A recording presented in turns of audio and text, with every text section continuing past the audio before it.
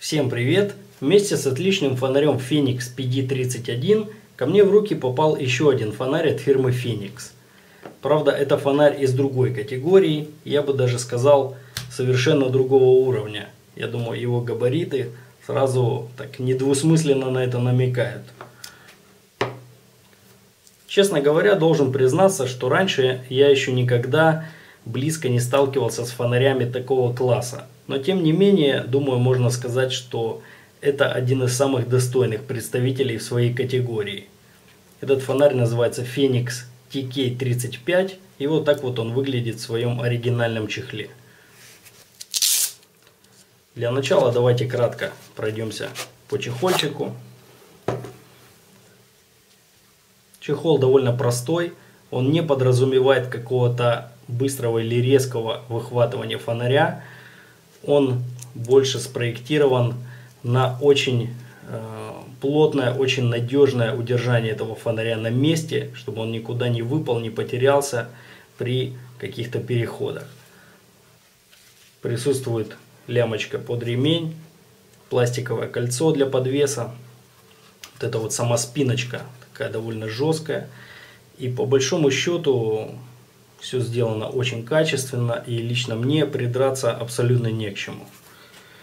Ну а теперь давайте перейдем к нашему главному герою. Вот так вот выглядит этот фонарь. Его длина 16 сантиметров и 3 миллиметра. Диаметр головы в самом толстом месте 51 миллиметр. И вес этого фонаря, давайте вместе его взвесим. Честно говоря, я еще сам его не взвешивал, только игрался им на улице и пугал своих соседей. Вес фонаря 353 грамма. Должен вам сказать, это очень серьезный вес, который можно сравнить с каким-нибудь очень мощным э, немаленьким фиксидом. Но фирма Phoenix никогда не позиционировала этот фонарь как какой-то фонарь для ежедневного ношения.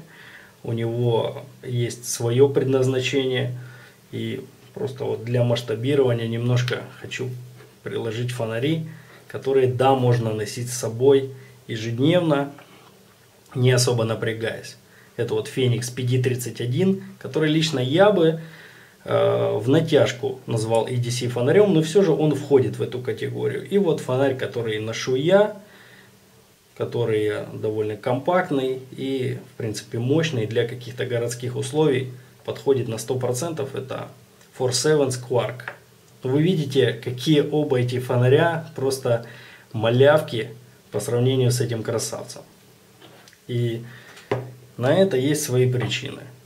Фирма Phoenix позиционирует фонарь TK35 как фонарь а, для туризма, для аутдора, то есть фонарь, который предназначен для очень мощного освещения местности. То есть вы ночью находитесь на какой-то незнакомой территории, а, и вам нужен очень серьезный поток света. И вот здесь вот TK35, он просто, на мой взгляд, будет, конечно, незаменим. Очень интересная форма у этого фонаря. Видите, он не круглый, то есть бока у него вот так вот срезаны. И сначала я тоже немножко не понимал это, когда просто визуально его осматривал. Но когда я немножко им попользовался, то есть вот взял его в руки и попытался вот понажимать кнопочки, я сразу все понял. На самом деле, если бы фонарь был круглый, э, то есть вы когда нажимаете кнопки, вот здесь вот сзади, вы должны отпустить большой палец. И если бы фонарь был круглый, диаметр был бы довольно большой и была бы очень небольшая опасность того, что этот фонарь может просто выскользнуть. Так, во-первых, они сэкономили очень много места, веса и сделали его намного более эргономичным и удобным именно конкретно в использовании. Очень удобно лежит в руке. А, насечки тут тоже непривычные обычным фонарям для EDC. То есть такие вот рисочки. Здесь помощнее.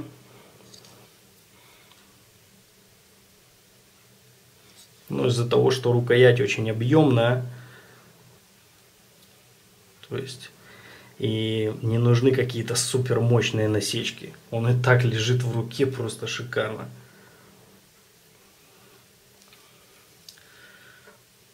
Давайте посмотрим на наш светодиод. Здесь используется светодиод э, Cree XML для фонарей такого класса, то есть для мощных фонарей, работающих на литиевых батареях. На данный момент это стандарт, причем очень хороший стандарт. Э, рефлектор-отражатель, вы видите, здесь гладкий. И что еще поражает, это вот толщина вот этих стенок. То есть э, здесь вот на голове, где я мог замерить, толщина стенок больше, чем 4,5 мм. Корпус этот выполнен из анодированного алюминия авиационного. Ну, очень-очень прочная, жесткая конструкция. Абсолютно не придраться. Здесь э, анодирование третьего уровня, так называемая, но вы видите, что при каких-то жестких ударах, то есть это не новый фонарик, это фонарь, которым э, мой товарищ очень активно пользуется. И если ему достается, то это анодирование может немножко слазить, но поверьте мне, это был очень мощный удар. Э, давайте для начала пройдемся по внутренне, внутренним частям этого фонаря. Ну, конечно же, никуда не деться от рассмотрения резьбы. Но все знатоки сразу же видят, что здесь просто нереально мощная резьба, трапециевидная, с плоским навершием, все как надо. Плотнительное кольцо, то есть фонарь этот, он водонепроницаем по стандартам IPX8. И вот такой вот модуль находится внутри фонаря. И фонарь работает э, на двух э, видах батарей. Или на вот таких вот батареях, как вы видите. То есть их нужно две. Э, тип этих батареек это 18650. 3,7 вольта. Или 4 батарейки CR123. То есть вы можете выбирать чем пользоваться.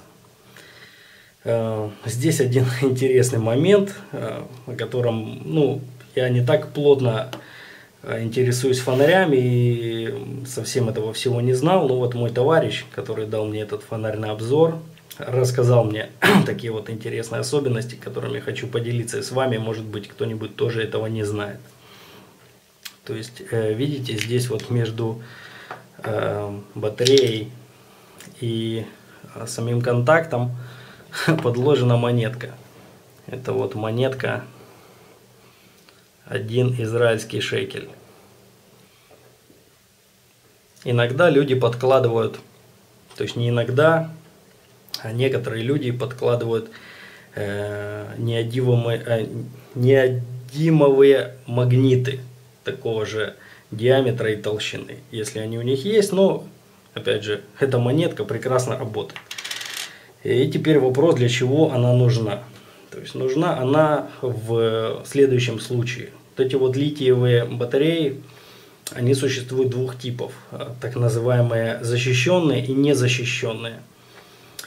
Э, незащищенные, это вот, вот эта батарея, она незащищенная. И это слово означает то, что в ней внутри Э, нету автоматической защиты от перезарядки или переразрядки. Э, то есть э, новичкам не советуется использовать такие батареи. Ну вот мой товарищ ими пользуется, он отдает себе отчет, у него есть какая-то умная зарядка, которая не дает этим батареям перезарядиться, то есть в чем опасность. Если эта батарея переразрядится, то есть э, опустится ниже 2.9 э, вольт, э, то ее химические, химические свойства внутри нарушатся, она уже не будет такой мощной, такой долговечной. А перезарядка, то есть сверхзарядка этой батареи э, выше, чем 4.2 вольта, может грозить тем, что эта батарея просто взорвется у вас в зарядном устройстве. Вот. Ну, вот для этого и нужна эта умная зарядка, чтобы не произошло у вас дома или еще где каких-то непредвидимых э, взрывов. Вот. Но вот разница между этими батареями, которые защищенные и незащищенные, э, эта разница она в габаритах. Защищенная батарея, она чуть-чуть длиннее на 2 мм. То есть эта батарейка, ее длина 6,5 см, а в защищенной батарее это будет 6,7 6 сантиметров и 7 миллиметров. Поэтому, в принципе, то есть эта батарея и так нормально сюда станет без проблем. То есть Феникс все рассчитали, но все-таки не до конца. То есть при каком-то активном использовании, если мы поставим незащищенную батарею и как-то вот э, встряхнем фонарик или что-то, то мы можем услышать дребезжание и эта батарейка будет тут ерзать. Поэтому и придумали ставить вот э, такой назовем это спейсер. Значит, вот такой модуль у нас внутри. Вернемся от разговоров о батарейках к нашему фонарю. Причем, видите, так очень э, грамотно здесь сделано, что здесь одна сторона выпуклая, а вторая здесь просто дырочка. И это сделано для того, чтобы не позволить нам э, вставить, вставить этот модуль э, неправильной стороной. То есть, видите, он сейчас не заходит. Если мы его перевернем, то он входит у нас до конца. Все отлично.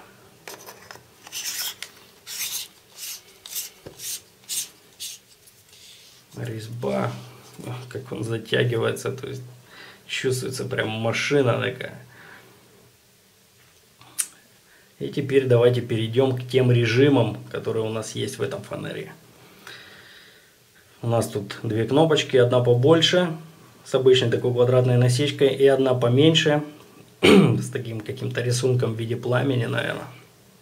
Ну вот сейчас я нажимаю на вот эту большую кнопочку, она будет переключать нас между обычными световыми режимами. Это вот самый слабый режим, я наизусть не помню все показатели. Самый слабый режим это у нас 12 люмен.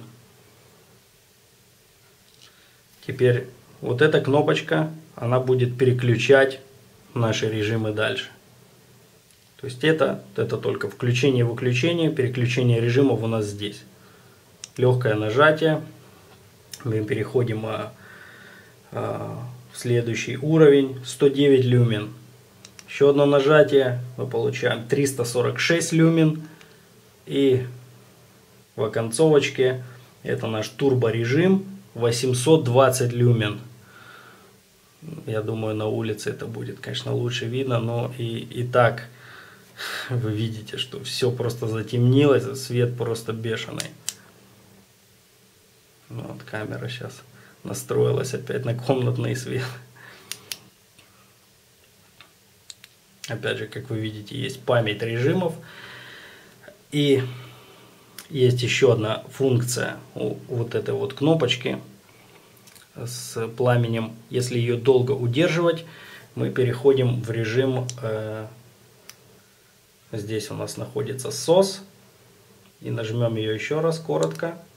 Мы получим стробоскоп, опять же 820 люмен стробоскоп, то есть человека можно, наверное, просто ослепить на пару минут.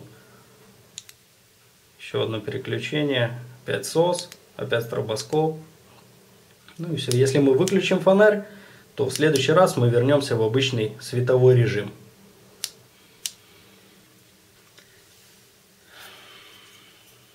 Вот такой вот очень интересный фонарь. Мне очень хочется показать вам его, как он, как он долбит э, на улице. Я думаю, моя камера будет все-таки способна хоть что-то из этого передать. Ну, потому что описать это словами очень сложно. То есть, это просто какой-то прожектор, реально. То есть, Если у вас э, в машине, я не знаю, потухнут все фары, то вот этим вот фонарем можно просто освещать всю дорогу, как, как дальним светом. Очень мощный фонарь э, для определенных целей. Конечно, это не тактический фонарь и это не фонарь для каждодневного ношения. Это фонарь для обычного спокойного использования э, где-то на улице, где-то в лесу, в поле, где бы вы ни находились, он обеспечит вам очень хорошее освещение. Ну и сейчас, кстати, забыл сказать о его цене. Цена этого фонаря в интернете без учета пересылки начинается со 100 долларов. В принципе, цена очень вменяемая, то есть многие EDC фонари, которые более такие эм, понтовые, скажем так, в принципе, стоят тех же денег, хотя можно обойтись и чем-то намного более простым. То этот фонарь как бы в своей категории, он просто красавец. Ну и нам осталось посмотреть его в деле. Все, увидимся на улице. Пока. TK35 на улице. Давайте пройдемся по всем нашим четырем режимам и посмотрим, как они светят. Это вот самый слабый режим. Ну, можно посветить примерно в трех метрах от себя более-менее нормально. Это вот второй режим. Довольно сконцентрированный лучик. Хотя, в принципе, э, рассеивается он сильно, но как бы Э, вне светового, основного светового пятна, вот вне ход-спота э, света довольно мало. Это вот наш третий режим. Ну, третий уже лупит по домам, то есть довольно далеко. Хорошо все освещает.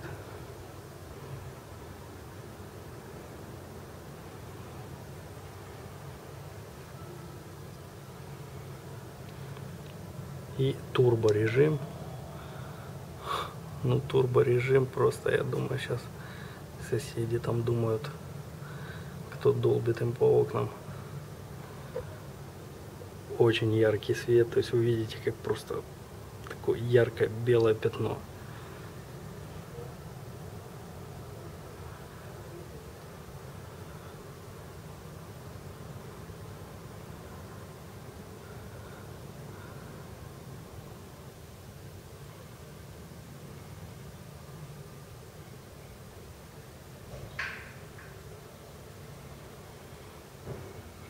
Вот так вот светит этот красавец, который смело можно брать с собой в походы на природу.